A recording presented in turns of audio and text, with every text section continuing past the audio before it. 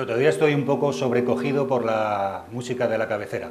Bienvenidos a la Semana Vallecana, una de las iniciativas culturales y políticas más ambiciosas de los últimos años en nuestro barrio. Un barrio por sí eh, que ha sido pionero en muchas cosas. Ha sido pionero en medios de comunicación, ha sido pionero en el movimiento de asociaciones de vecinos y también es un adelantado de esta corriente de cambio popular que atraviesa nuestro país.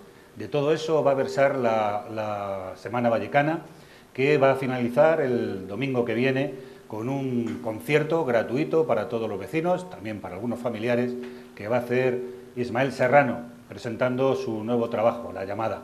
Y antes vamos a tener también un recuerdo para el gallo vallecano, vamos a tener un estreno teatral y también un tributo íntimo a quien mejor ha contado a este barrio y a sus luchas, que es Luis Pastor. Y en medio de todo ello vamos a, en Teleca, vamos a hacer este experimento de un programa donde todos los espectadores y el público que nos acompaña podemos interactuar preguntando algunas de las voces más significativas de ese cambio popular. Hoy nos va a acompañar Alberto Garzón, pero eh, mañana está con nosotros Ada Colau, que promueve el proyecto de Guañén Barcelona, y el próximo viernes nuestro antiguo compañero en tareas de Teleca y también vecino de Vallecas, Pablo Iglesias. Bueno, antes de nada quiero también agradecer y saludar la presencia de Radio Vallecas que va a retransmitir simultáneamente este acto. Y, por supuesto, agradecer al Ateneo Republicano de Vallecas el que nos haya permitido convertir su salón de actos en un improvisado plató. Y ya paso a presentar, pero voy a presentar primero a Álvaro Aguilera, que es el flamante secretario general del Partido Comunista de Madrid, que va a presentar a nuestro invitado, Alberto Garzón. Eh, bueno, pues es también eh, eh, concejal en Brunete y, según he leído en, su currículum, también es compañero en tareas audiovisuales, en cine y en televisión como guionista. Así que, Alberto, Álvaro, perdón. Álvaro, Álvaro Aguilera. Ven, espérate. ¿Ya? Eh, bueno, estas cosas de ser el presentador presentado. Em, nada, simplemente, bueno, como ha dicho Paco, en el pasado mes de junio celebramos nuestro último congreso y decir y agradecer en nombre del Partido Comunista de Madrid eh, la invitación al Ateneo eh, la invitación a TDK, a Radio Vallecas, para, para, que el Partido Comunista de Madrid tenga voz en este acto y presentemos a un camarada y compañero de tanto del Partido como Izquierda Unida como Alberto Garzón. Eh, antes, simplemente de la presentación, decir que evidentemente en este nuevo ciclo que se abrió el pasado mes de junio en el partido, pues uno de los elementos que tenemos que trabajar, una de las cuestiones que más tenemos que trabajar y con más ahínco es precisamente, por un lado, la construcción de poder desde los barrios, este es uno de los barrios que son poder, y que tienen que seguir siendo poder, porque es fundamental. Y por otro lado, no se oye. Y por otro lado, eh, bueno, yo grito, pero al... Vamos a hacer un truco. son los gajes del directo. A ver, ¿ahora? Bueno, pues eh, ahora... No, nada, simplemente eso, que, en esta nueva etapa tenemos que apostar por los barrios que son poder, por el poder en los barrios, y este barrio es uno de esos barrios que son poder y que tiene que seguir siendo así. Y por otro lado, en el partido tenemos que eh, apostar, impulsar con nuestro granito de arena una convergencia político y social, no solamente en lo electoral, sino más allá, pero también en lo electoral, donde converjamos, converjamos eh, las diferentes organizaciones que apuestan por un cambio para el pueblo y por el pueblo y desde el pueblo, que es lo más importante. En ese sentido, simplemente plantear que, desde luego, desde Izquierda Unida, desde el partido, estamos intentando que esa convergencia se produzca, pero lo intentamos también en torno a la idea de que, sobre todo, lo que es es una necesidad que se produzca. Eh, más allá de, de las intenciones, este país no aguanta más, este país no aguanta más de régimen bipartidista, este país no aguanta más el régimen de la transición, este país no aguanta más el saqueo sistemático del poder financiero y oligarca y por tanto es imprescindible que las fuerzas que apuestan por el cambio, que los colectivos que apuestan por el cambio, que los hombres y mujeres que apuestan por el cambio eh, sean generosos y generosas y entiendan que para ese cambio hay que llegar a, a un entendimiento de mínimos, aunque sea, y propiciar que los saqueadores, los ladrones, los chorizos que nos llevan robando el presente y el futuro se vayan de una puñetera vez. Y sin más, presento al secretario de Proceso Constituyente de Izquierda Unidad Federal, diputado también en el Parlamento de la Nación y, y que yo me imagino que todos y todas conocéis. Eh, os dejo con Alberto Garzón.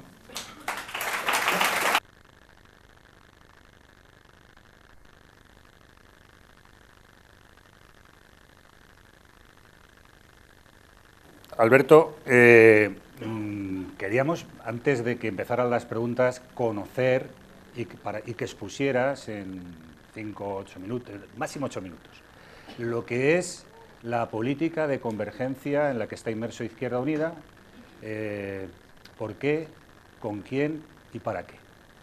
Muy bien. Bueno, ¿se me escucha? ¿No? A ver, probando, uno, dos, tres, cuatro. Probando, ahora sí, ahora ya yo mismo lo he notado. Bueno, muchísimas gracias a todos y a todas por estar aquí, muchísimas gracias a Álvaro por la presentación, al Ateneo por eh, el espacio y a Teleca, por supuesto, por invitarme a participar en esta semana.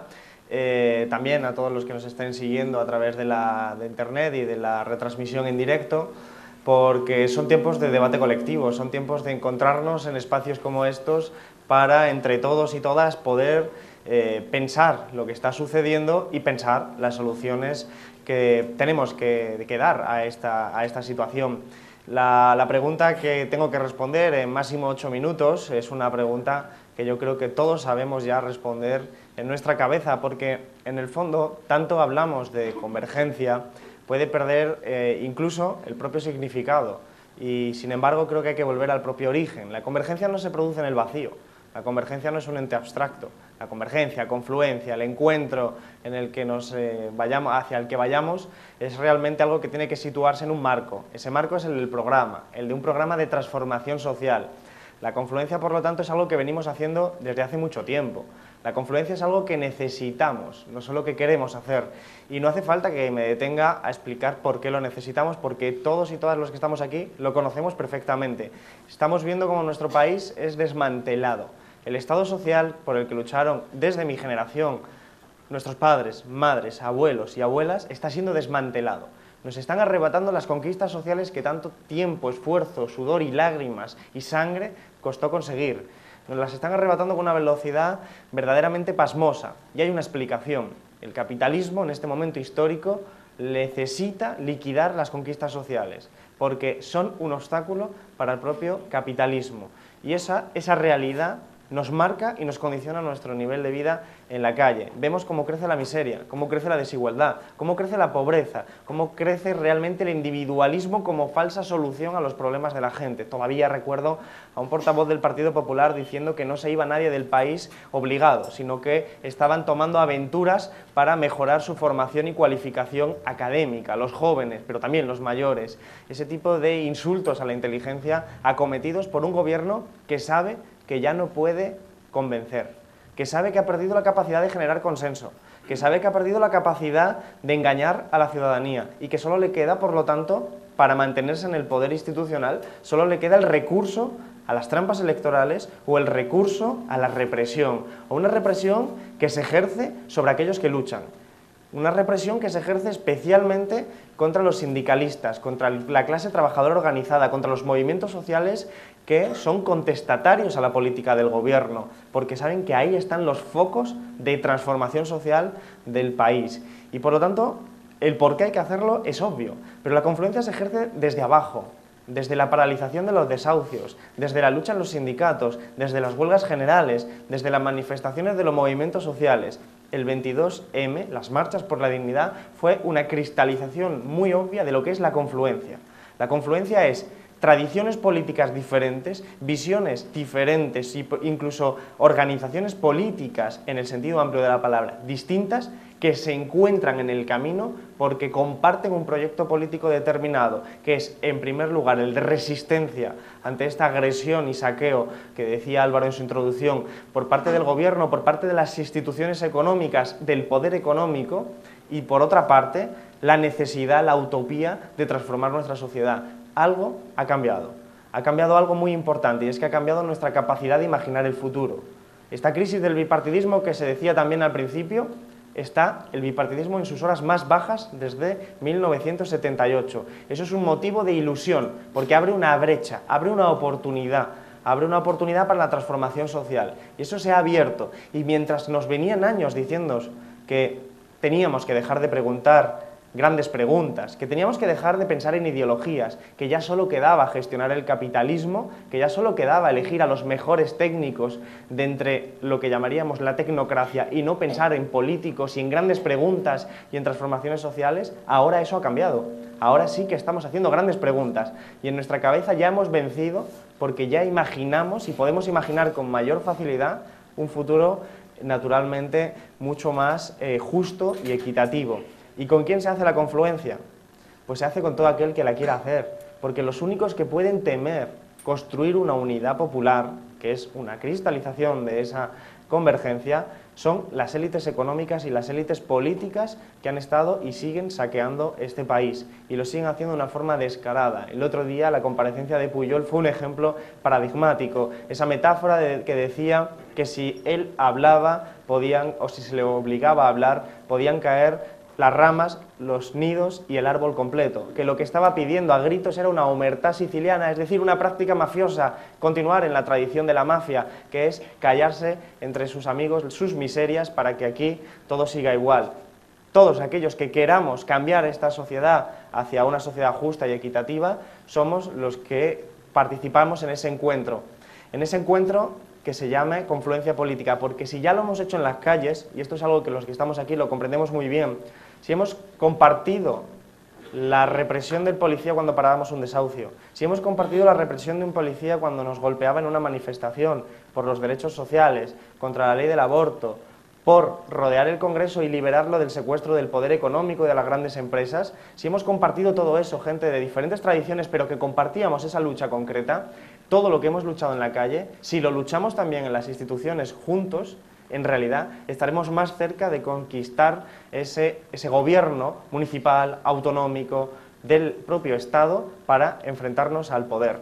Por lo tanto, todos aquellos que quieran participar de ese proyecto, pero ese proyecto se debate, se debate sobre un marco, ese marco es el programa. Por lo tanto, aquí podríamos hablar de muchas fuerzas, pero enumerarlas y dejarnos a uno o meter a otros sería un ejercicio vacuo porque dependen de esas organizaciones querer sumarse a un espacio de encuentro, de confluencia. Pero desde luego desde Izquierda Unida lo que tenemos claro es que no es una cuestión de intención política, es una cuestión de necesidad social, no de necesidad para las organizaciones que formen parte, sino necesidad para la gente, porque la oportunidad que se ha abierto también se puede cerrar. Y no queremos que cuando se cierre la oportunidad hayamos desaprovechado una oportunidad histórica de transformar nuestro país y nos encontremos mirando a la calle un país que no reconocemos, un país donde haya que pagar por ir a la universidad tasas imposibles de pagar para la gente trabajadora, que tengamos que pagar por una sanidad pública que conquistaron generaciones precedentes, que tengamos que pagar absolutamente por lo que son derechos que nos están arrebatando y nos están convirtiendo en meros consumidores en función de si tenemos dinero o no tenemos dinero. No queremos reconocernos en ese país y por eso hay que aprovechar la oportunidad. Izquierda Unida lo tiene muy claro y por lo tanto por nosotros no va a quedar. Vamos a hacerlo con toda la generosidad que requiere la necesidad histórica. Ese por, por quienes pueden estar formado esa confluencia desde luego, por Izquierda Unida, seguro que sí. El resto de organizaciones, movimientos sociales van a ser ellos, de forma autónoma, los que decidan si se suman o no se suman a un proyecto que no es de Izquierda Unida, sino de la sociedad y que tenemos que encontrarnos por necesidad de la sociedad, no por necesidad de los sujetos que formen parte de esa confluencia. ¿Y para qué? Creo que es obvio, lo decía también a, través de mi intervención, para resistir esas conquistas y aguantarlas y poder mantenerlas y sobre todo para pensar un futuro que merezca la pena ser pensado, porque ese relato también generacional que nos han vendido desde hace muchos años, en el que nos decía, y termino con esto, en el que nos decían a nosotros, en mi generación, desde mi perspectiva, desde la mi generación, nos decían, estudia primaria, estudia secundaria, ve a la universidad, aprende idiomas, haz un máster, porque si sigues toda esa línea, accederás a un trabajo. Al principio será precario, pero tarde o temprano tendrás un trabajo mejor. Después accederás a una vivienda. Quizás tengas que pedir un préstamo, pero al final tendrás una situación habitacional aceptable. Sin embargo, el dispositivo ideológico que se encendía, que se disparaba, era muy potente. Era el dispositivo siguiente. Nos decía, en el fondo, la clave es que vas a vivir mejor que vuestros padres. Ese era el dispositivo que engañó a una sociedad entera.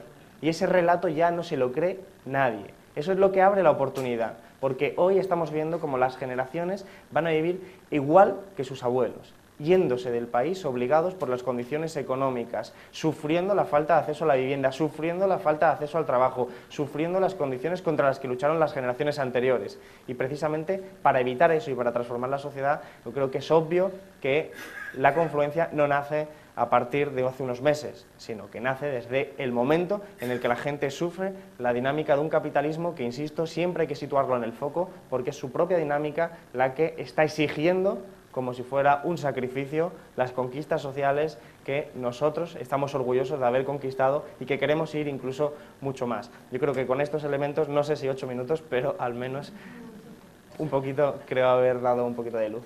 muchas gracias, Alberto.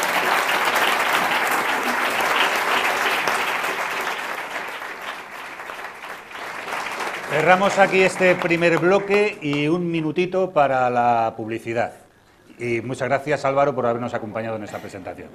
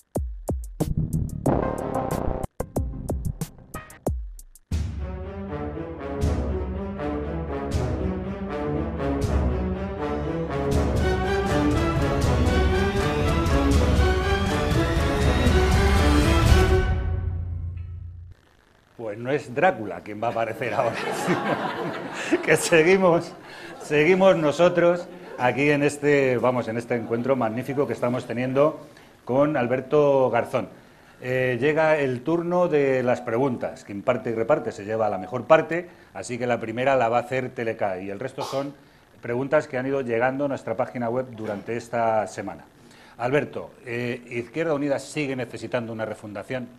Esa refundación pendiente como la revolución, que decían algunos? Bueno, Izquierda, Izquierda Unida hizo una asamblea, la novena asamblea, en la que habló de refundación, eh, no por primera vez, pero habló de una forma de refundación para adaptarse a la, a la sociedad, para adaptar sus mecanismos organizativos.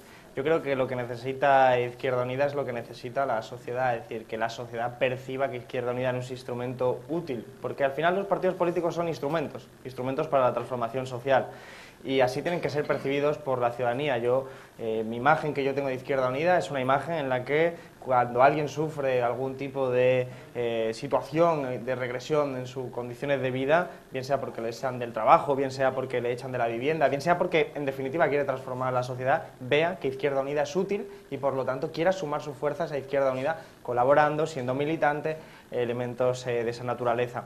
Por lo tanto, yo creo que lo que tenemos que hacer es entender lo que está sucediendo en la sociedad, ver lo que estamos pidiendo como sociedad y tratar de comunicarlo lo mejor posible para demostrar a la sociedad que confiar en Izquierda Unida es confiar en una transformación social necesaria. Eh, la palabra refundación es, es, muy grande, es muy amplia. Eh, yo creo que lo que necesitamos eh, es organizarnos, no solo Izquierda Unida, sino el conjunto de la sociedad, organizarnos para transformar esa sociedad y adaptar Izquierda Unida Pues a mecanismos que la gente está demandando, mecanismos más participativos, que es lo que se está viendo en la calle que se pide, mecanismos que hagan que Izquierda Unida mantenga un programa de transformación social claramente anticapitalista y que consigamos convencer también a aquellos sectores que ahora mismo no nos están votando. Son elementos y tareas por hacer, desde luego. Bueno, eh, la segunda pregunta es una pregunta que ha llegado desde varios eh, ámbitos, de varios sitios, y es un poco recurrente. Viene a plantear que si se ha abierto en, Izquierda Unida algún proceso de eh, sucesión del actual coordinador general y si Alberto estaría dispuesto a asumir nuevas responsabilidades dentro de la organización. Bueno, sucesión es un término dinástico, ¿no? Es un término relacionado con la, monarquía, relacionado con la monarquía y desde luego nosotros como republicanos no compartimos esa filosofía. Eh, Izquierda Unida es un proyecto colectivo. Yo, me afilié a Izquierda Unida con 17 años eh, tratando de asumir responsabilidades las que orgánicamente y colectivamente se me dieran. La primera que se me dio fue limpiar un local y poner carteles, pero está al mismo nivel que las que estoy haciendo ahora. Bueno, no, las hemos hecho, ¿eh? que yo soy de Málaga. Eh, se llaman espetos, exactamente. Entonces se trata de, de, primero, ahora mismo estamos en un momento histórico en el que tenemos que definir nuestro proyecto político para el curso venidero. Eso es lo que hemos hecho con una cosa que se llama Encuentro para un Nuevo País, es un momento de debate colectivo, no solo entre gente de Izquierda Unida, sino ampliado a la sociedad, para saber qué queremos hacer, no ya para las elecciones municipales, sino para el curso que viene, que es mucho más amplio. Parece que se acaba el mundo en las municipales, pero es mentira, continúa. Y como continúa, tenemos que saber también no ser cortoplacistas. Lo que caracteriza, a mi juicio, a la izquierda es que piensa mucho más allá, mucho más allá de la siguiente cita electoral.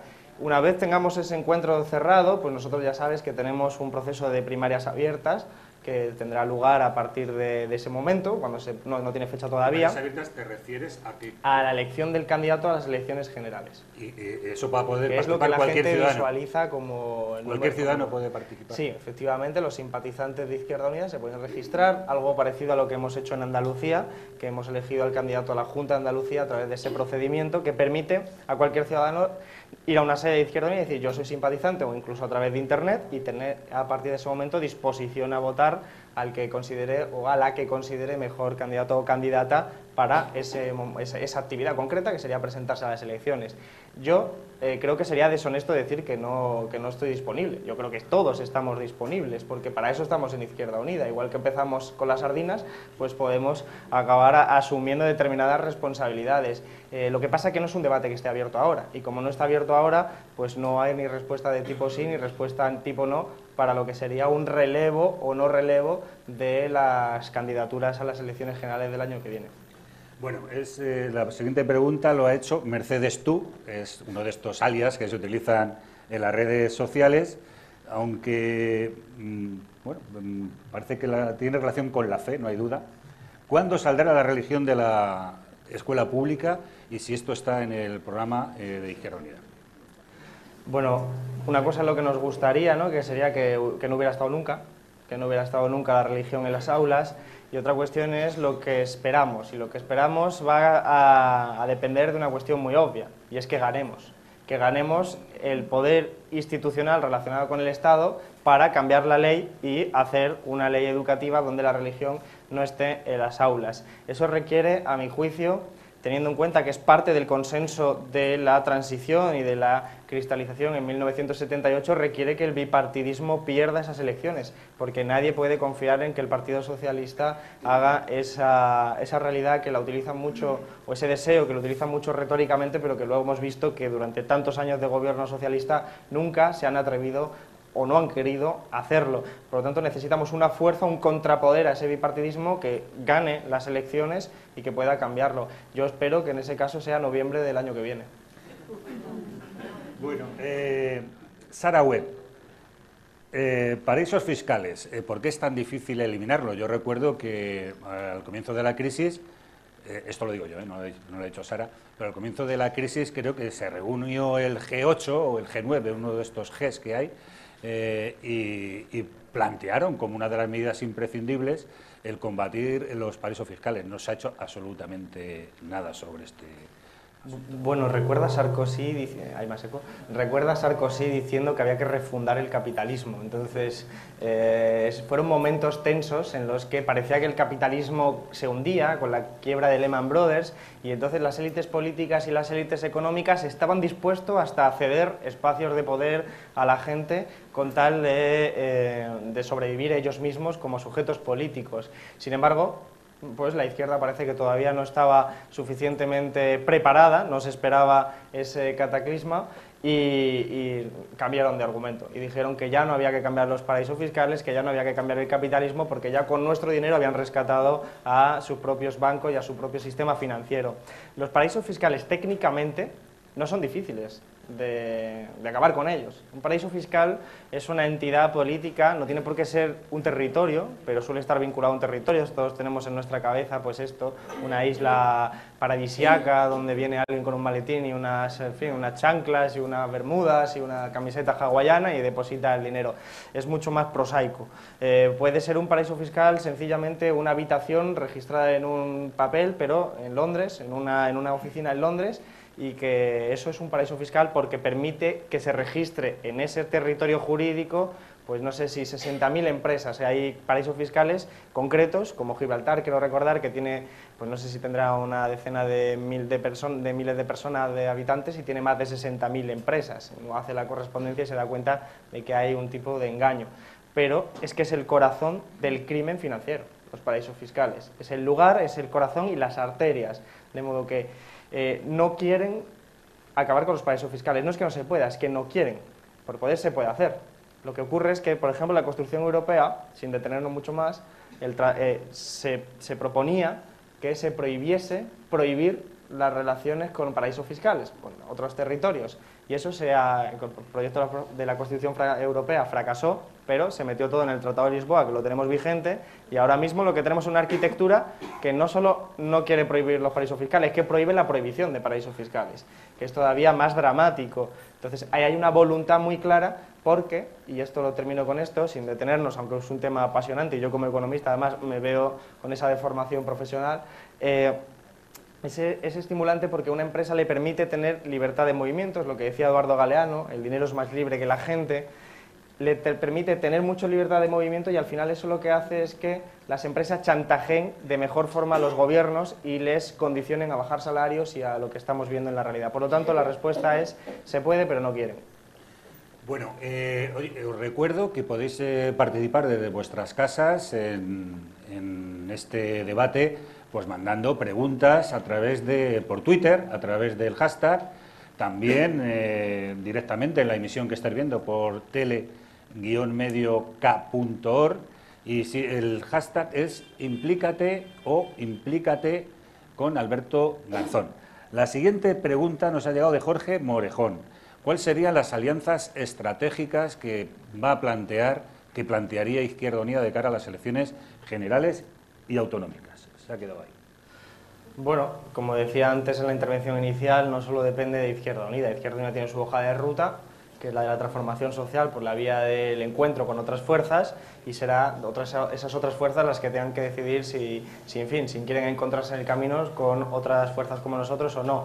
Yo pienso que las elecciones europeas nos han dado una serie de inputs para entender lo que está sucediendo y entre ellos está la posibilidad de seguir agrietando el, bipartidismo y seguir eh, teniendo la oportunidad de incluso vencerle, vencerle en las municipales, vencerle en las autonómicas, pero también en las generales. Eh, lo que estamos viendo es que ahora mismo, sin que hayan fraguado todavía, pero están, tenemos embriones de algo que se llama Ganemos, que en otros espacios se llaman de formas diferentes, Marea Atlántica se llaman, por ejemplo, en Galicia, mañana si tienen a Ada, pues puede comentar lo que es el Guanyen eh, Barcelona, que es un espacio de confluencia en el que participa Izquierda Unida, pero participan otras muchas fuerzas políticas. En Málaga, que es donde yo vengo, pues hay muchas fuerzas en las que ya están participando. Todavía hay un sujeto político importante, nuevo, que es Podemos, que todavía es el único que a mi juicio todavía no ha dicho eh, lo, que, lo que hará, porque está en medio de un, periodo congresual y será eh, después de ese proceso donde tengan que decidirlo. Yo creo que para la sociedad sería una buena noticia que participasen Ahora bien, si no quieren participar, eh, que yo creo que en ese caso sea una mala noticia para la sociedad, nosotros de todas formas continuaremos desde Izquierda Unida nuestra hoja de ruta porque nosotros tenemos, eh, nos mueven los principios y las convicciones y continuaremos con todos aquellos que estén dispuestos a, a ser audaces en un momento que hace falta ser audaces. Gracias, Alberto. Eh, eh, Alex, que se trata sin duda de un incrédulo, porque dice, ¿se puede nacionalizar la energía pagando lo que el Estado cobró por privatizarla? Se puede nacionalizar las grandes empresas. De hecho, tenemos una constitución que ahora que tenemos estos días de, recuerdo de la Constitución, tenemos un artículo 128 precioso que dice que toda la riqueza del país está subordinada al interés general, que podría ser una excusa maravillosa para recuperar todas aquellas empresas estratégicas y sectores estratégicos que nos permitan vivir de una forma mejor y que impidan de esa forma que sean saqueadas por una pequeña élite económica y política que se apropia de todo el espacio de la vida pública. Eso no quiere decir que, que, sea gratis, eso quiere decir que tendrá unos costes políticos, tendrá unos costes económicos, pero todos esos costes económicos y políticos se pueden superar. De hecho, el beneficio, por decirlo así, el beneficio social de que la sociedad sea la propietaria ya no solo de la energía, sino del sistema financiero, de la banca pública, sino también de todo el conjunto del sistema sanitario y no solo de una parte, también de la educación. Es decir, creo que son beneficios que eh, son necesarios además eh, que incluso desde el punto de vista productivo, con la crisis ecológica que está amenazando claramente nuestro, nuestro estado natural, donde nos insertamos como sociedad, eh, no es posible por más tiempo mantener el capitalismo y no es posible por más tiempo mantener este modelo de producción y consumo, lo cual requiere repensarlo todo y yo creo que la única forma de repensarlo es acabando con que la ganancia sea el motor de la actividad productiva y eso significa hablar de algo muy clásico pero muy de vigencia que es acabar con la propiedad privada de los medios de producción.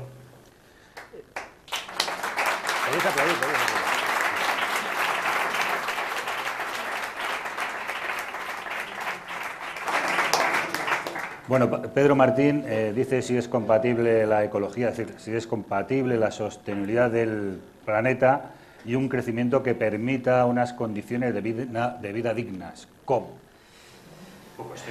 Sí, sí, vaya preguntas. ¿eh? Eh, lo cierto es que el capitalismo es incompatible con la democracia y con la supervivencia del planeta.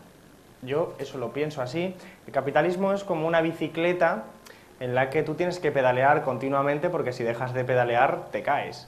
El capitalismo necesita crecimiento económico continuamente porque si deja de crecer entra en crisis y entonces se produce una situación que nos lleva a toda la sociedad en todo un momento de crisis absoluta. Lo que ocurre es que el capitalismo es esa bicicleta, sin embargo, sin haberse preguntado hacia dónde va. Y tú cuando te montas en una bicicleta tienes claro hacia dónde vas. Vas hacia un lugar, hacia un lugar que se puede llamar socialismo o se puede llamar como tú quieras. Es la bicicleta que te va a llevar a un estadio que tú has elegido y que puede ser de felicidad. El capitalismo no. El capitalismo no tiene horizonte. Solo piensa en seguir pedaleando, que es hacer beneficios a toda costa, aunque esa costa sea pues el bienestar de la mayoría social o sea directamente los recursos naturales con los que nosotros sobrevivimos. Ese capitalismo significa que es una bicicleta que va hacia un abismo, hacia un abismo social y ecológico.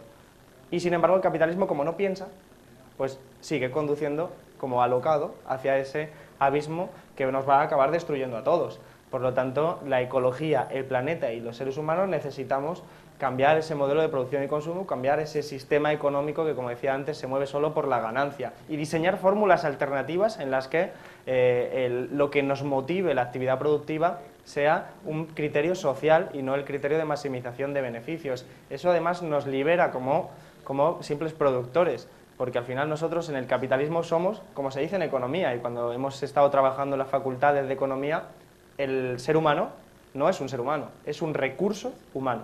Es la palabra que se utiliza en las facultades de economía para hablar de los seres humanos. En el capitalismo somos meros átomos que engrasan una maquinaria, somos menos recursos humanos, por lo tanto es absolutamente incompatible. Eh, por último, dentro de este bloque de preguntas seleccionadas, las que han llegado a la web, eh, es la de Oscar, que dice, eh, ¿es la República eh, imprescindible para resolver los problemas del, del, país? Yo creo que si entendemos por república algo más que la ausencia de un rey, absolutamente sí.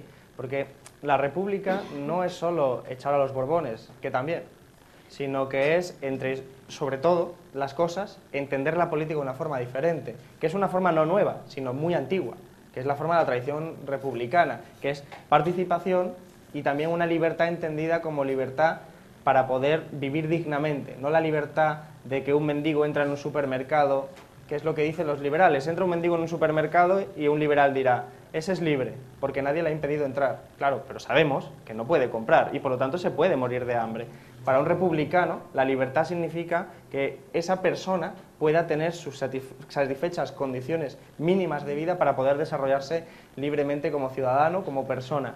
Eso es el republicanismo, implica participación política, implica control de la economía para beneficio de la mayoría social, implica una serie de cosas que son imprescindibles para la solución de nuestros dramas sociales actuales. Si nos quedamos en una versión estrecha que nos dice que solo es cambiar a un monarca por otro, recordemos que Estados Unidos es una república o recordemos que hay repúblicas profundamente capitalistas, más aún más individualista que la, que la nuestra, que es una monarquía. Por lo tanto, hay que precisar y decir república no es solo cambiar a un Borbón por una elección eh, democrática, sino que se trata de ir mucho más allá, que es lo que verdaderamente les asusta, porque estoy convencido, y además lo dijo, que para salvar la bolsa son capaces de quitar la corona. Eso fue una frase de Marx y que representa que si, ellos ven peligrar su dinero, son capaces de mandar al Borbón a su casa y poner una república para contentarnos. Que no nos engañen porque nosotros pedimos mucho más que eso.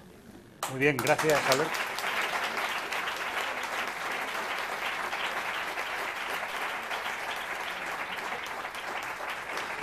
Bueno, le vamos a dar un notable alto, yo diría que un sobresaliente, porque ha acertado casi todas las preguntas. ¿eh?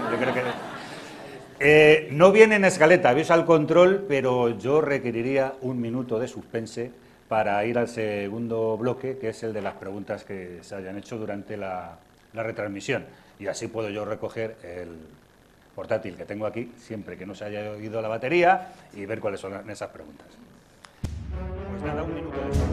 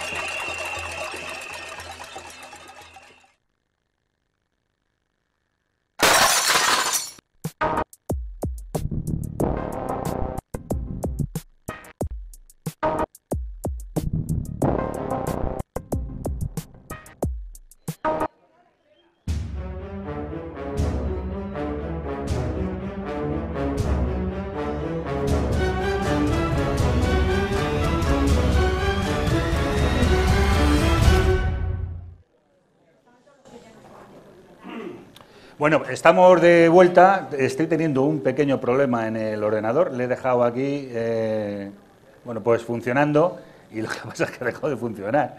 Pero es una... Mm, dice que como eh, es sin duda un vecino de Vallecas dice cómo podemos acabar con los fondos buitre. Aquí, por ejemplo, en Vallecas, el IBIMA ha vendido 3.000 eh, pisos a Goldman Sachs. Pues sí, eso es una, una concreción de lo que decíamos antes, los paraísos fiscales. Son fondos de inversión que son gestionados normalmente por grandes fortunas o grandes empresas que se dedican a especular y a especular absolutamente con todo aquello que esté eh, mercantilizado, que esté con un precio y que se pueda comprar. Y les da igual que sea una vivienda o que sea una empresa. Eh, la vivienda lo conocemos lo que sucede, con las empresas es todavía más terrible si cabe, porque afecta a mucha más gente de un solo plumazo. Son fondos de inversión, fondos buitres, que compran una empresa, la reestructuran despidiendo trabajadores, a todos los trabajadores directamente, contratan gente nueva con la mitad del salario o un tercio del salario y después la venden la empresa a alguien a quien le venden que la han arreglado. la han arreglado porque han liquidado a los sindicalistas, porque han liquidado a todos los trabajadores contestatarios. Esa realidad de cómo se especula con una vivienda, con una empresa, también ocurre con los propios países.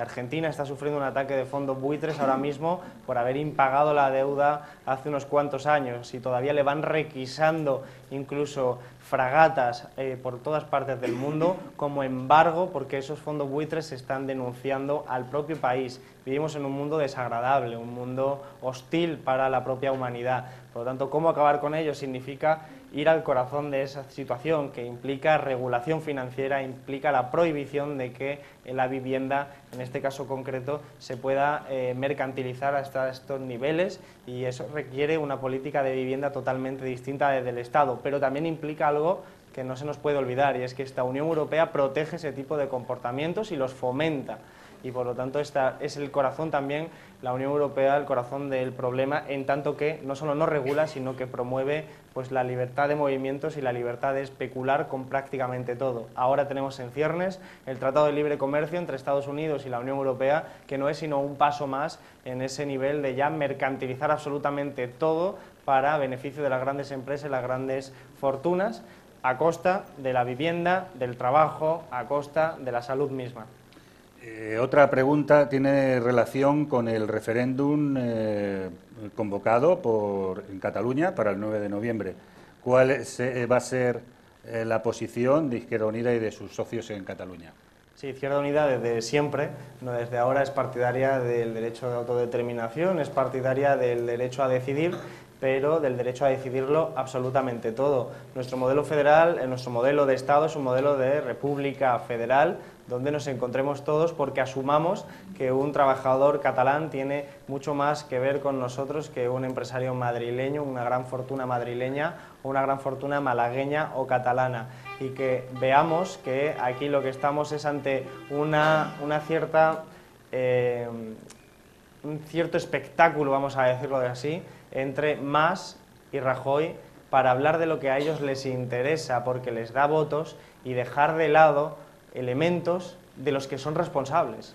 Porque mientras se habla de esta cuestión envolviéndose en una bandera, no se está hablando de Puyol, ni se está hablando de Bárcenas, ni se está hablando de la Gürtel, ni se está hablando, más importante de todo, son los recortes que hacen exactamente igual CIU y PP, que votan conjuntamente en el Congreso todo lo que es un recorte a la ciudadanía y que lo mismo que aparecen en televisión ante los ciudadanos diciendo que son enemigos a ultranza, en el Congreso cuando llega se dan la mano para recortar los derechos de catalanes y de españoles. Por lo tanto, son unos mentirosos interesados en crear una nube una cortina de humo que nos deje, nos impida mirar realmente a un hecho espectacular, y es que el número de desahucios es similar en Madrid que en Barcelona, y la gente que es desahuciada, que se queda sin vivienda, que se queda sin empleo, que se queda sin capacidad de comer, no se lo resuelve una bandera, se lo resuelve la lucha organizada en pos de una transformación social, y nosotros somos partidarios de una república federal, pero no entendemos que no se permita votar en nuestro país, porque creemos que el derecho a voto que nos conquistó tanto conseguir,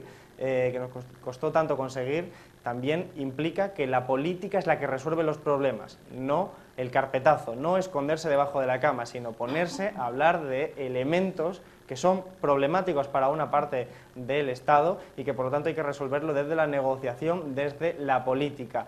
Un ejemplo concreto es el de Escocia y el Reino Unido y es obvio que es una forma más civilizada de resolverlo que amenazando, como hizo el ministro de Exteriores, con suspender la autonomía y meter el ejército en Cataluña. Creo que eso corresponde a otros años, a otras épocas, ya pasadas felizmente, y que por lo tanto desde Izquierda Unida vamos a combatir continuamente.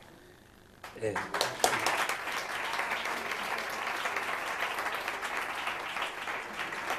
La siguiente pregunta que nos ha llegado tiene relación con el fraude fiscal. ¿Es España una excepción negativa dentro de la Unión Europea? No. Es verdad que España tiene unos niveles muy altos de fraude fiscal, superados por Grecia e Italia, depende de las estimaciones, pero en general el fraude fiscal es un elemento eh, muy importante para todas las economías europeas lo que ocurre es que hay determinados niveles y diferencias de fraude fiscal. Dentro del fraude fiscal podemos incluir la evasión fiscal, que es un acto ilegal, es un acto ilegal como el que puede hacer Bárcenas, como el que parece ser que hizo Puyol, aunque esté ya eh, pasado y prescrito. Y luego está la ilusión fiscal. La ilusión fiscal es utilizar herramientas legales, como los fondos de inversión, las SICAF, para al final pagar menos impuestos. Y después de todo esto, un dato. Las grandes empresas españolas pagan el 5% de sus beneficios, el 5%. Al final, después de una serie de arreglos financieros, contables, jurídicos, lo que llamaríamos trampas, pero legales, pagan un 5%. Las grandes fortunas utilizan la SICAF para postergar el pago de impuestos y pagar solo un 1%, mientras, de media, la mayoría de los españoles paga un 22%. Es obvio que aquí lo que hay es una discriminación que atenta contra la propia Constitución, que dice que el sistema fiscal tiene que ser progresivo y que los que más tienen, más paguen. Pues esto es legal, es legal. Montoro el otro día, porque nosotros le dijimos unos datos, le dije yo como portavoz de Izquierda Unida, le dije, es que ustedes están haciendo que las grandes empresas solo paguen el 3%, porque depende de la estimación, el 3%. Entonces subió a la tribuna y me dijo, no, pagan el 5%, está usted mintiendo. Y yo, bueno, el 5%, parece que es usted un rojo, ¿eh? ha subido dos puntos desde la estimación. Qué indignante es que el propio ministro te reconozca como un hecho además para intentar convencerme a mí, a Izquierda Unida, de que las empresas pagan un 5% y que eso es mucho cuando es obvio que en comparación con la mayoría social es una barbaridad. Pues todo eso es la mayor parte del fraude fiscal. La mayor parte del fraude fiscal es de grandes fortunas y de grandes empresas. Lo que ocurre es que siempre les interesa situarse en aquella persona que a lo mejor está cobrando 200 euros por una ayuda y necesita tener un poco más de dinero para intentar sobrevivir, ya ves que, caprichoso, y hace un arreglo en una casa de un vecino y no le paga la factura. Y a ese es al que señala el gobierno y a ese es al que manda la Guardia Civil el gobierno, al pobre que no le queda más remedio. Por lo tanto, aquí hay que de nuevo estar alerta porque la mayor, la mayor parte del montante es de las grandes fortunas y de las grandes empresas.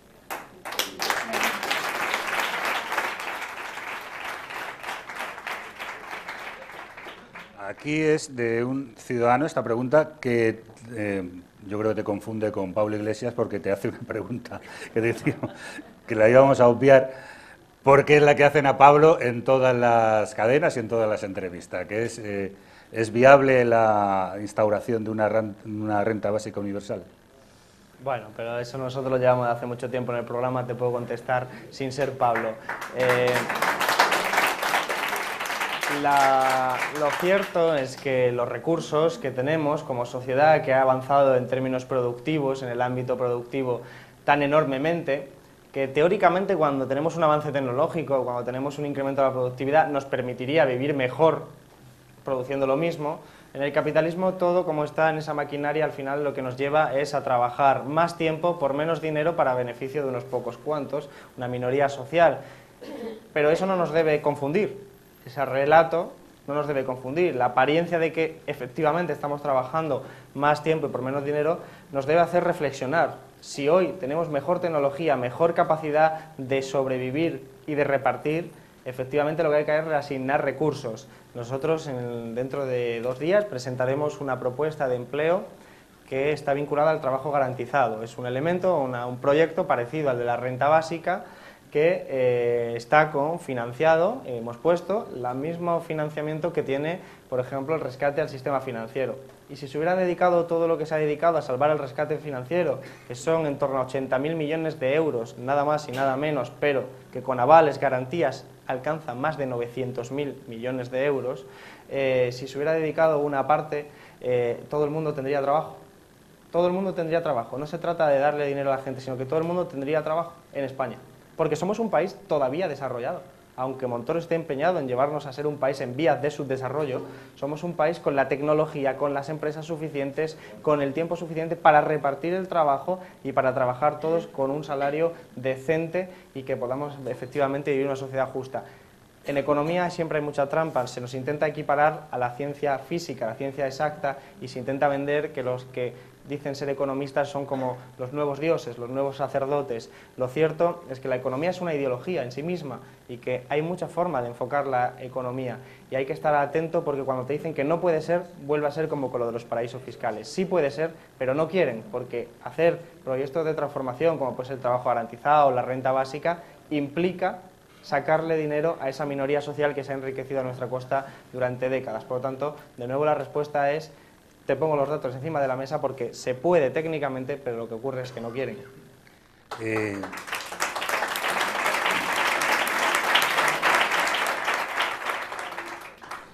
bueno, voy a adelantar esta pregunta porque ha salido el nombre de, eh, del ministro Cristóbal Montoro a relucir. ¿Qué te parece como economista eh, Montoro? Y pues, añade, en el caso de que lo sea. Bueno, yo creo que hay que tener presente, por ejemplo, que nosotros estamos ahora mismo gobernados por Mario Draghi, que viene de es presidente del Banco Central Europeo, y viene de Goldman Sachs, que es una banca de inversión, la que habíamos responsabilizado de los fondos buitres, una banca de inversión responsable de hacer las trampas en Grecia y llevarla a la crisis en las cuentas públicas. Y lo hemos puesto de... Bueno, nosotros no, porque como es una entidad antidemocrática no le votamos, pero bueno, lo tenemos ahí mandando. Y en España tenemos un ministro de Economía que venía de Lehman Brothers, que también quebró, pero bueno, vamos a decir ahora, vamos a darle la duda de que él no tuvo responsabilidad. Pero fue secretario de Estado del ministro de Hacienda, que era Montoro, en los tiempos de la burbuja inmobiliaria.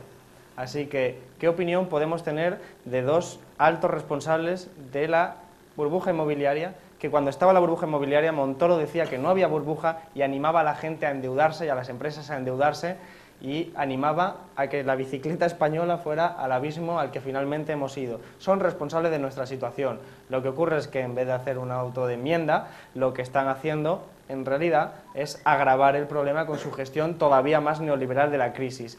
¿Alguien se puede fiar de un economista que un día dice una cosa y al día siguiente la contraria? Pues Montoro tiene ese tipo de esquizofrenia, con perdón para la esquizofrenia, pero Montoro tiene ese problema y es que no es un problema que utilizan la economía al servicio de sus intereses partidistas y te dicen cosas en términos y conceptos económicos cuando en realidad lo que están hablando es de lucha de clases desde un punto de vista político en el Congreso.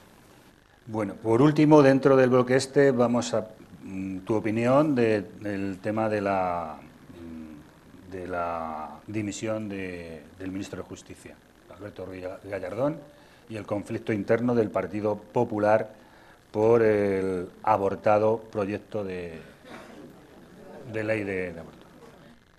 Abortado o abortado, sí. Eh, bueno, yo creo que entre todo hay que felicitarse porque es un, un triunfo de las mujeres, sin lugar a duda, y de la lucha de las mujeres.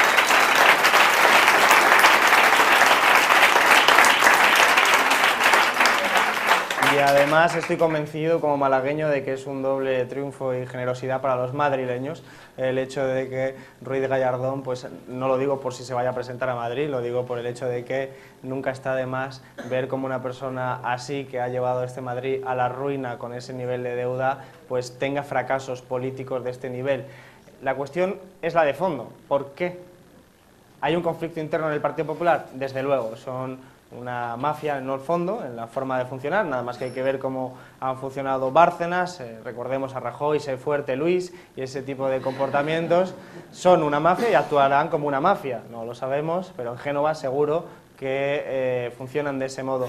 A mí me parece más relevante entender que el Partido Popular está asustado, aterrorizado por la posibilidad de perder el poder institucional en miles de alcaldías de todo el país y que eso es lo que ha hecho que haya sacado la ley de reforma local para intentar cambiar la, ley electoral, que todavía no se sabe si lo va a hacer, pero ya amenaza con ello, y que haya echado hacia atrás una ley eh, que era claramente antipopular, que solo servía a los intereses de la conferencia episcopal y la extrema derecha en este país, y que han decidido hacer cálculos electorales, y esos cálculos electorales le han dicho que la echen hacia atrás. Es el miedo y el terror que tienen a la posibilidad de perder las elecciones, lo cual debería animarnos a nosotros, lo que los ha echado hacia atrás, porque no es la falta de consenso. El Partido Popular no ha hecho nada con consenso desde que está en noviembre de 2011 Mariano Rajoy.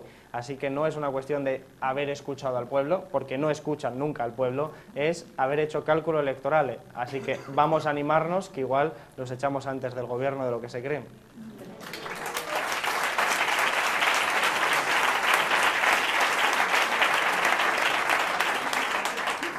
Bueno, pues vamos a dar paso al último bloque, que son las preguntas que vosotros queráis hacer.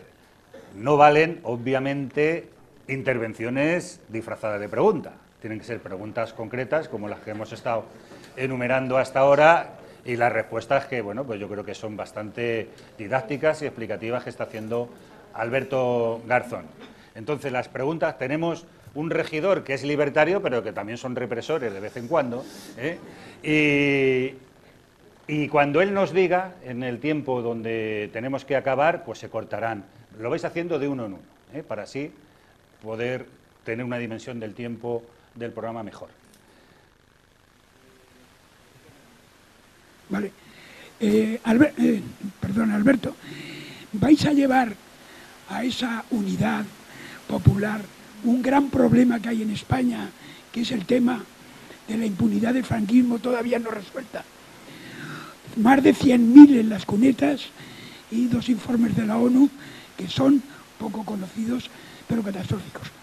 Vais a llevarlo a la unidad de todos. Solo aquí en Vallecas tenemos un montón de calles todavía y en Madrid un montón.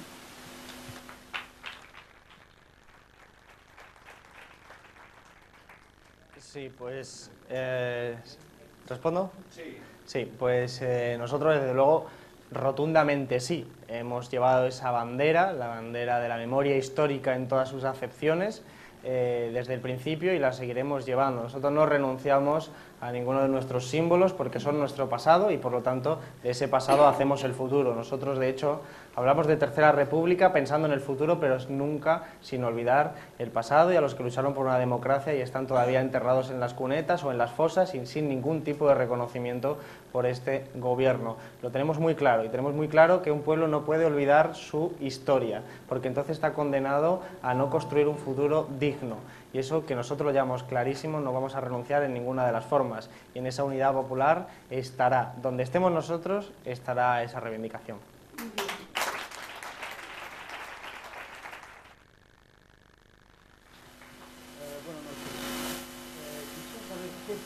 ¿Qué piensas que en junio pasado el diario El Mundo publicara en encabezando la primera plana, ¿eh?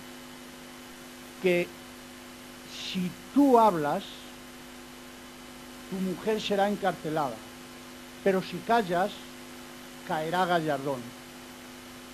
¿Qué puede haber de cierto en eso? Es un truco y luego, esperando a que el constitucional se declare, porque el constitucional como dijo Rajoy, la ley que ellos pudieran pasar, los futuros gobiernos en, en medio minuto lo tirarían por tierra. Mientras que si el constitucional lo desaprueba, eso es irrevocable.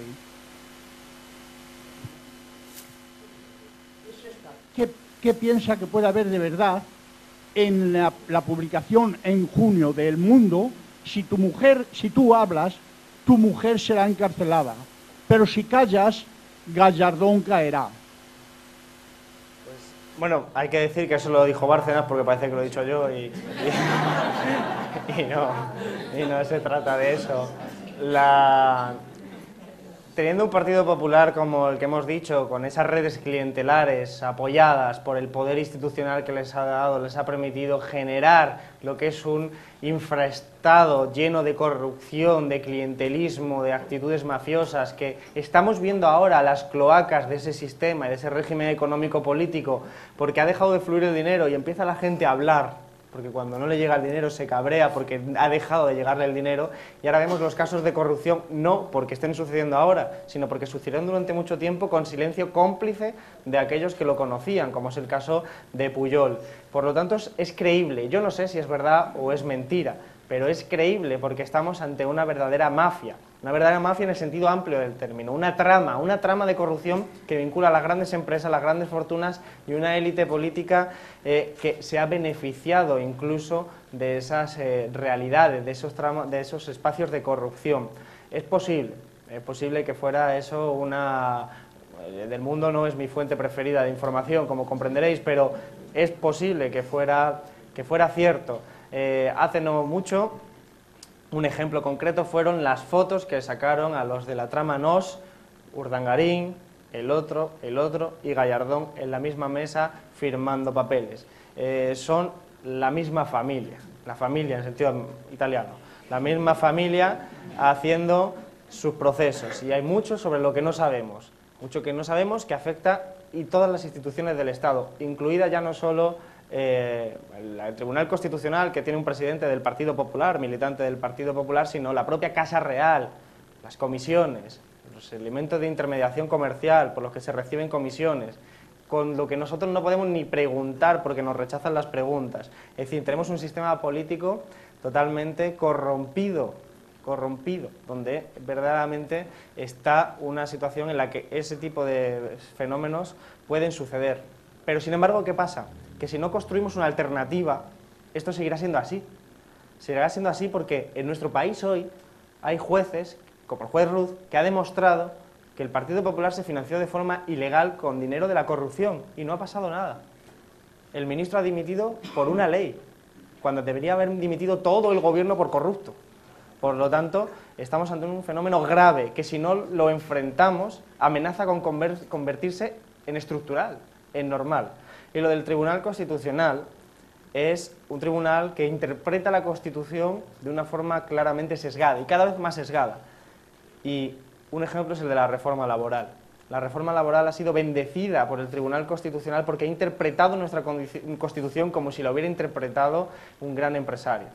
Y ese es un problema, que cuando la Constitución, que significó en un momento para este país democracia frente a dictadura, que por lo tanto fue una conquista de la clase trabajadora y de aquellos que luchaban contra el franquismo, acaba siendo interpretada como si el que la leyera fuera un gran empresario corrupto, tenemos un problema con el Tribunal Constitucional, y es que son meros empleados de esa élite económica y política. Y eso que sucedió con la reforma, electoral, con la reforma laboral, también sucedió con la ley de, social, de función social de la vivienda en Andalucía que paralizaba los desahucios y el Tribunal Constitucional acabó paralizando la propia ley antidesahucios porque decía que mermaba los beneficios del sistema financiero español, como si no mermara acaso las condiciones materiales de vida y particularmente a la gente. ¿no? Entonces es un Tribunal Constitucional que es parte del problema.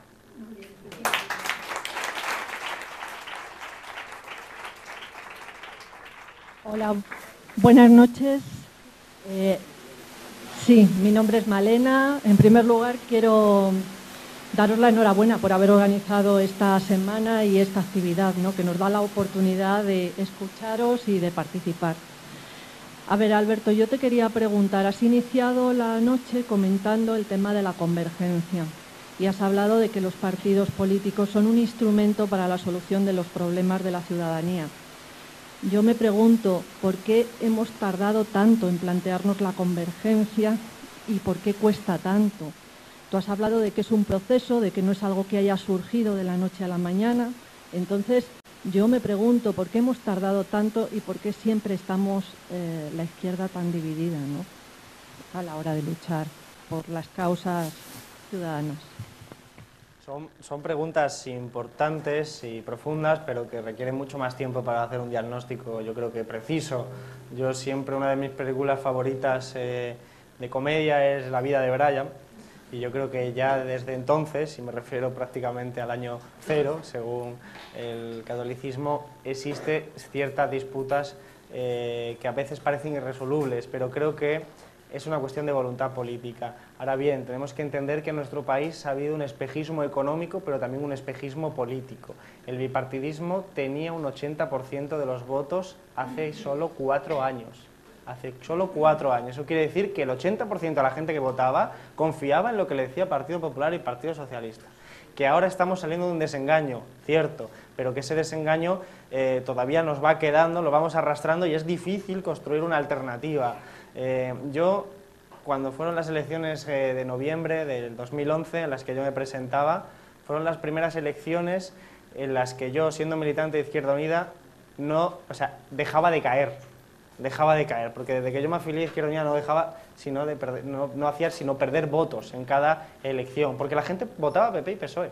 Por lo tanto, en la mente de la gente, de la mayoría, existía todavía eh, esa creencia en el relato. Por eso la convergencia ahora es tan difícil, porque la estamos haciendo muy rápido. La estamos haciendo muy rápido, muy deprisa. Llevamos seis años de crisis, huelgas generales, movimiento 15M, movimientos sociales, paralización de desahucio, lugares donde nos hemos ido encontrando. Y eso ha sido lo que va facilitando y lubricando la convergencia. La convergencia no se hace en despachos ni se hace firmando manifiestos, se hace luchando en la calle. Y eso ha permitido que ahora estemos más cerca de una convergencia electoral. Sin eso no hubiera existido ni la posibilidad de convergencia electoral. Sin embargo, hace tan poco que la gente confiaba tanto en el PP y en el PSOE que ese proceso, aunque nos parezca lento, está siendo muy rápido. Yo tengo la esperanza y trabajo todo el tiempo posible para que efectivamente podamos encontrarnos con un escenario electoral donde toda la izquierda, la izquierda del Partido Socialista, camina junta con un proyecto político común. Eso es un deseo, a ver si lo podemos convertir en realidad, pero depende de todos y de todas y no solo de unos pocos.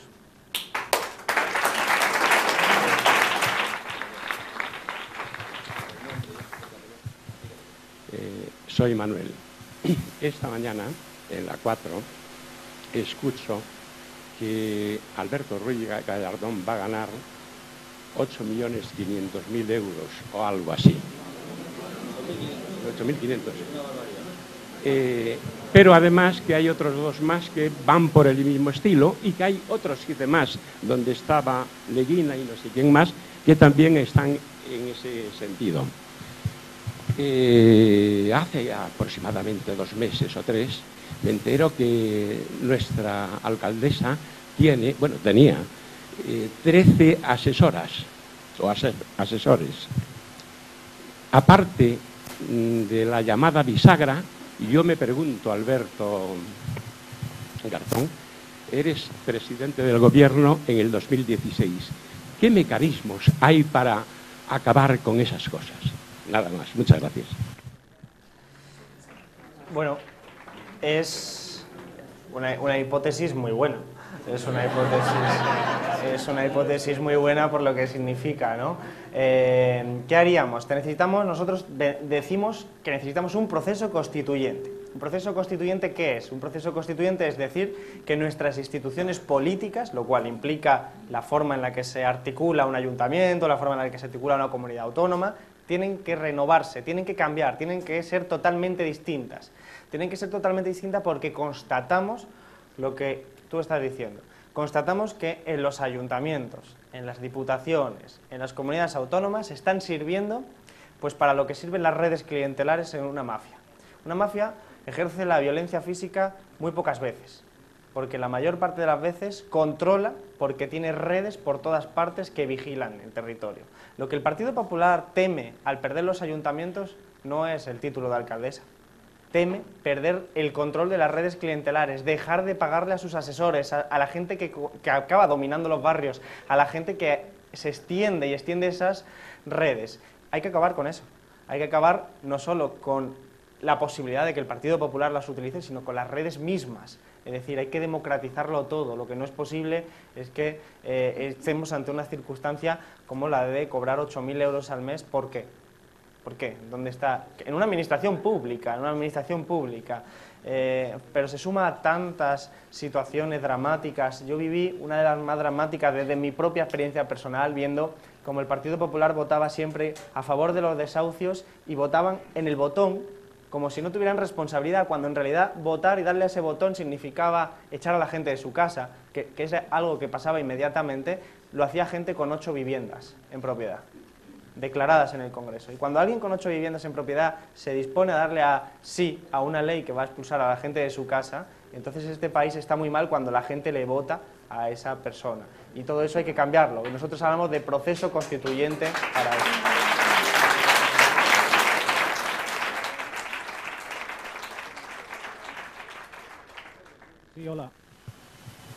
Hola. Hola, soy José Manuel, vecino de Vallecas de toda la vida, y quería hacerte dos preguntas cortitas. Una, la primera, ¿qué opinas sobre los aforamientos? Y la segunda, ¿de qué manera Izquierda Unida tiene planteado cuando en 2016 gobernemos quitar de alguna manera, o sea, de qué manera ser más independiente la justicia. Me refiero sobre todo a los miembros del Tribunal Constitucional y al Consejo General de Poder Judicial. ¿De qué manera se eligen esos magistrados para que sea más independiente, vuelvo a repetir, la justicia y no esté tan politizada? Gracias. Bueno, veo, veo, esperanza en las hipótesis. Eh, los aforados nosotros estamos en contra, teniendo presente que Izquierda Unida no puede eliminar el aforamiento porque es una cuestión estructural que incluso está presente en la propia Constitución. Entonces, lo que creemos es que esta serie de privilegios jurídicos eh, no deberían existir porque diferencian a lo que es un político de un ciudadano, que es una visión elitista de la política. Para nosotros, desde la propia tradición republicana, entendemos que la política es algo que se ejerce para transformar la sociedad y que no es una carrera profesional. Eso es lo que nos lleva, por ejemplo, a nosotros a donar una gran parte del sueldo, porque entendemos que no estamos ahí para enriquecernos, estamos para hacer una actividad al servicio de la mayoría social.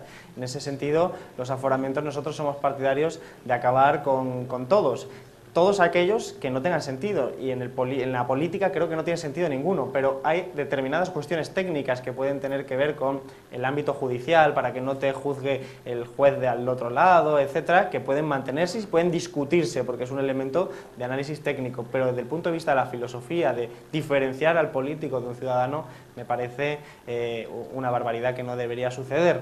Y para independizar la justicia lo que hace falta para empezar es una renovación.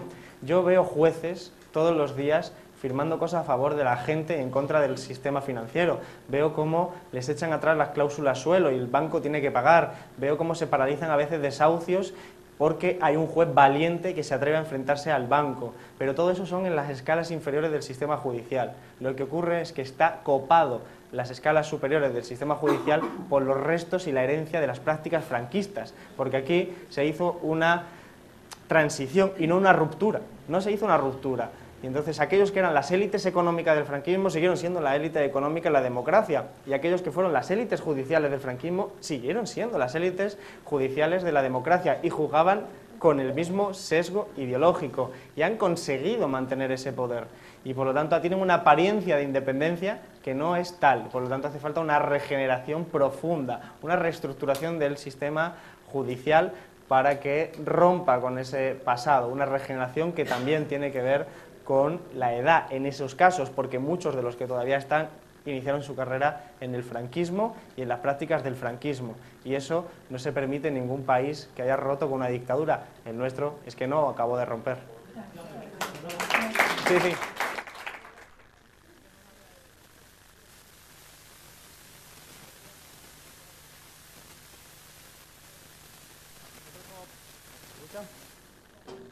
¿No? ¿Se escucha? Ahora, ahora sí, es que de vez en cuando.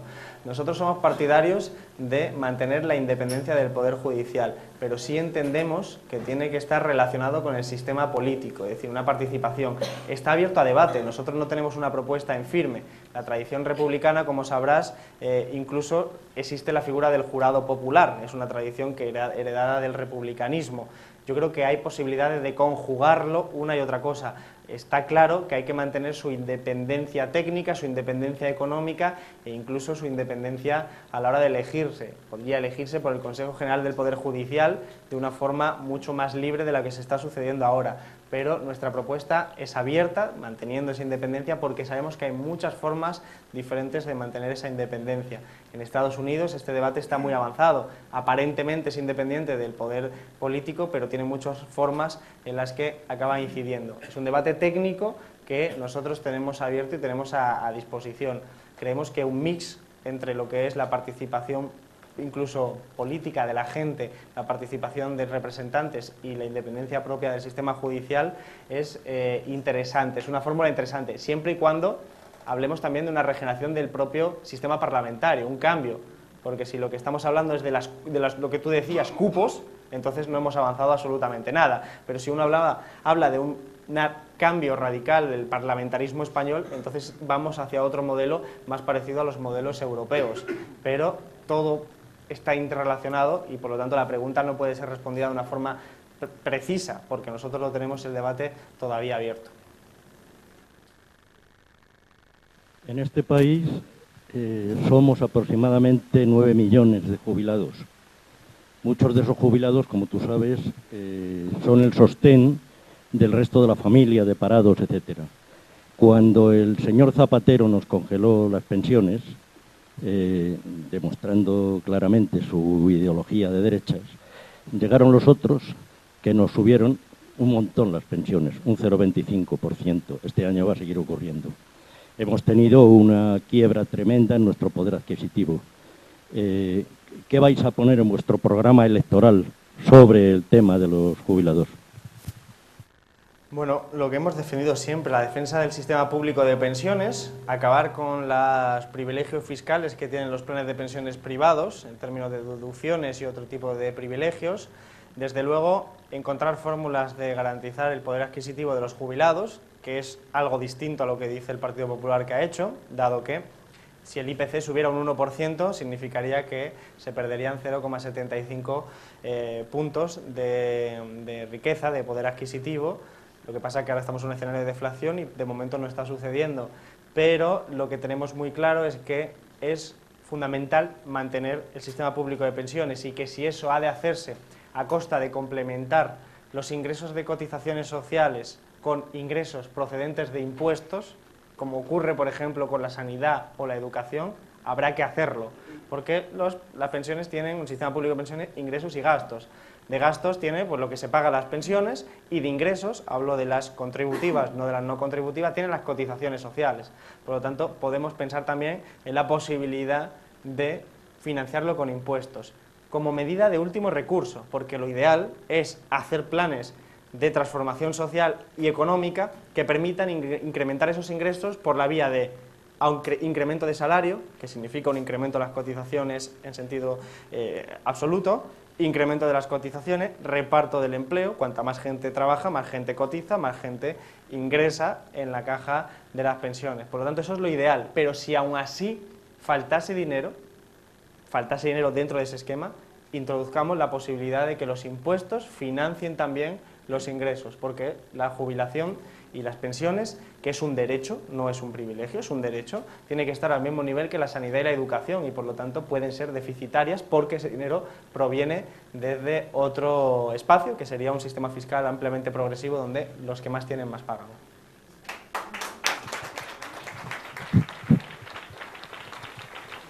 Una última pregunta.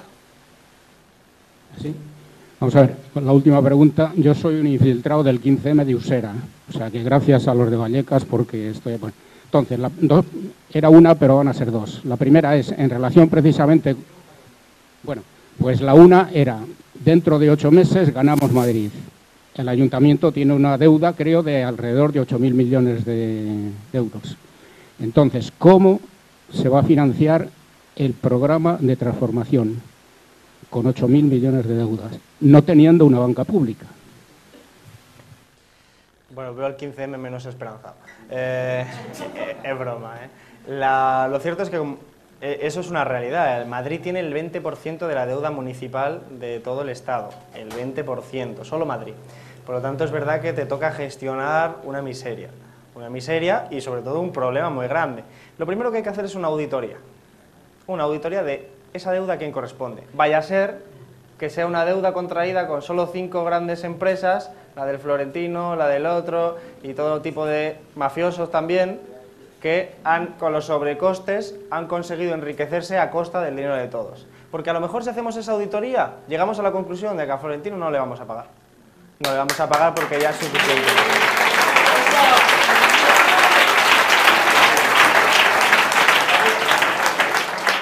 Porque hay que analizar la procedencia y si resulta que ese tipo de deuda es una deuda que se obtiene porque determinada gente del ayuntamiento y determinada gente grande de empresa se reúnen un día a cenar y hacen un chanchullo a costa del dinero de los demás, pues evidentemente la deuda tendrá una resolución totalmente distinta, así es una deuda contraída de forma legítima con cualquier prestamista.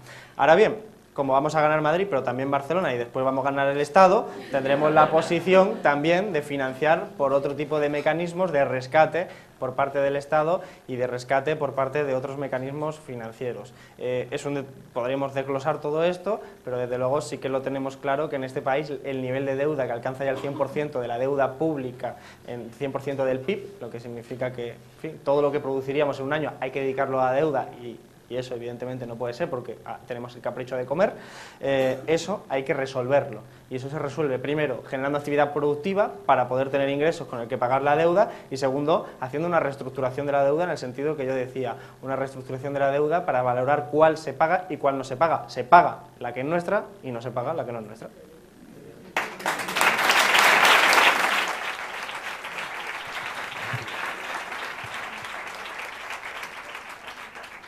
Sé si Alberto va a ser el... La última, queda la última por aquí.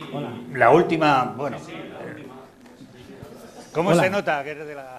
Hola Alberto, no sé si preguntártelo ya después de oírte decir que vas a ganar en Madrid y en Barcelona. ¿Habéis contemplado la posibilidad de formar coalición con Podemos?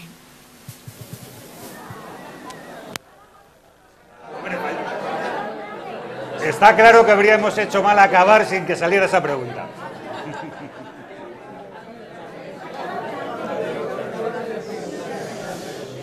Bueno, eh, es la pregunta de la prórroga, es la pregunta de la prórroga y hay que atenderla igual. Naturalmente nosotros tenemos nuestra hoja de ruta que es la que decía al principio de la exposición, que es confluir, encontrarnos en un espacio político de transformación social con un programa con todas aquellas fuerzas que quieran. Nosotros creemos que es necesario, por lo tanto nosotros queremos, queremos con muchas fuerzas, no solo Podemos, o sea, con muchas fuerzas de izquierda, porque ni Podemos puede solo, ni Izquierda Unida puede solo, ni cada uno aquí se puede creer un sheriff. Aquí estamos todos juntos a una porque los necesita la sociedad, punto. Entonces, la otra parte se la podéis preguntar a Pablo el viernes.